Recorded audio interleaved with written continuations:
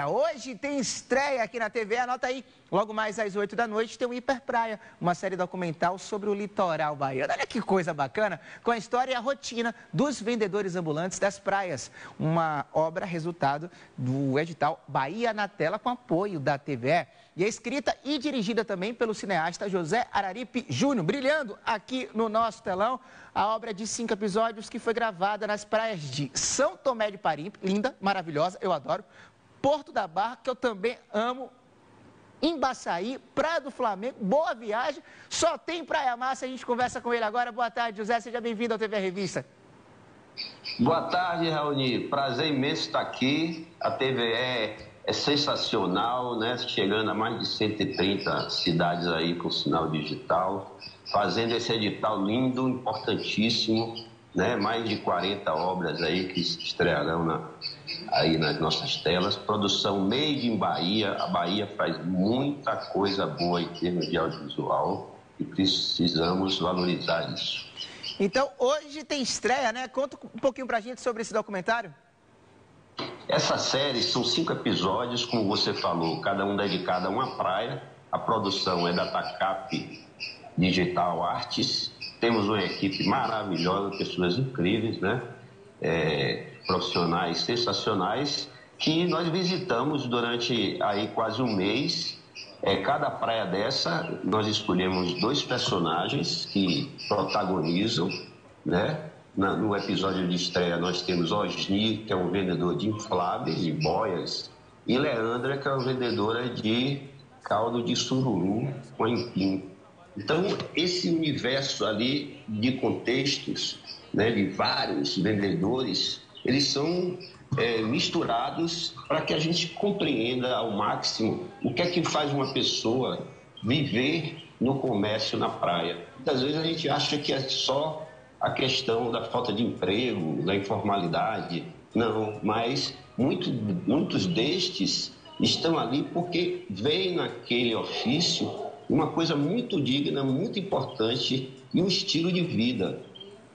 E ser vendedor ambulante, sobretudo de praia, é ainda mais desafiador, né? Porque você tem toda aquela concorrência, tem um rapaz ali que só quer tomar sua cervejinha, então você tem que meio que conquistar aquele cara ali que está ali para curtir.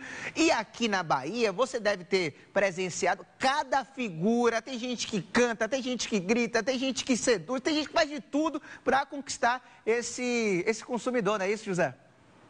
Essa série, na verdade, ela é um formato, né? Ela é feita de um jeito que ela pode ser, ter 200 é, temporadas, pode ser feita em qualquer lugar do mundo. Porque a praia é o maior mercado livre e aberto do mundo. E a praia é uma mutação, né? Nenhuma praia é igual todos os dias. O mar muda, a areia muda, e as pessoas que frequentam mudam e os vendedores mudam. Então, essa ideia nasceu de uma brincadeira que eu fazia, de tentar é, adivinhar qual o próximo vendedor. E nunca a gente consegue adivinhar, porque a diversidade é absurda. Cada hora aparece um, uma pessoa vendendo uma coisa que você não imaginava ser vendida ali na praia. E com um marketing de guerra próprio, cada um inventa sua maneira de seduzir, de chegar. Muitas vezes você vê que é a própria seleção natural, aqueles mais inteligentes, mais gentis, mais sedutores ganham concorrência,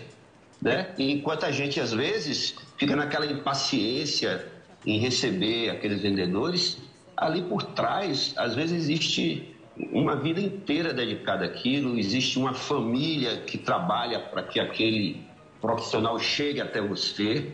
É uma coisa muito rica e muito importante, ao meu ver. Exatamente. E a praia é um dos locais mais democráticos, sobretudo aqui de Salvador. Branco vai, preto vai, rico vai, pobre vai animal vai, né? todo mundo vai para a praia, sobretudo o soteropolitano. Essa série, inclusive, é importante a gente falar que teve o apoio do edital Bahia na Tela, que é o maior edital da televisão pública. Foram 15 milhões de reais de investimento nas produções audiovisuais. Conta pra gente, José, um pouquinho mais sobre a importância desse edital.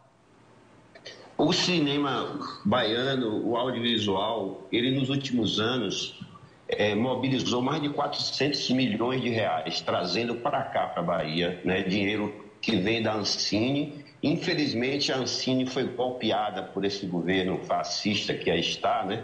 responsável por essa inflação absurda, responsável por tanta violência, e uma das violências foi, foi contra a Ancine. Então, esse edital ainda foi um edital que a Ancine estava funcionando e que a TVS sensivelmente soube agregar essa importância e trouxe esse edital para cá. Oxalá a gente retome a Ancine né, da maneira é, correta e, e, honesta que ela funciona, porque ela, ela não pega dinheiro do governo, ela se funciona com o próprio dinheiro da, da atividade econômica e isso representa muitos empregos, né? Porque quando você traz um, um recurso para fazer uma série que seja 200 mil, 300 mil, 1 milhão, é, com 30% no mínimo é distribuído com o, o, o comércio, né? Com hotel, com transporte, com hospedagem.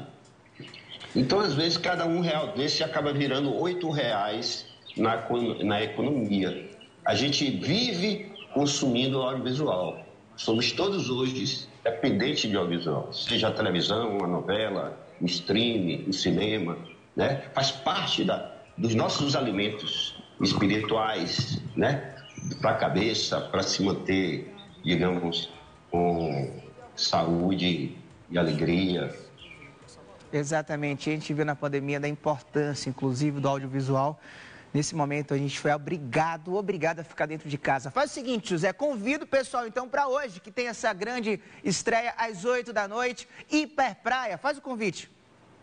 Aí você que é fã da TVE, você que é fã do audiovisual, você que é fã de praia, você que é fã daquelas comidinhas gostosas, daquelas conversas maravilhosas do vendedor de praia. Vem, vem hoje 20 horas na TVE Hiper Praia, uma série de dar água na boca.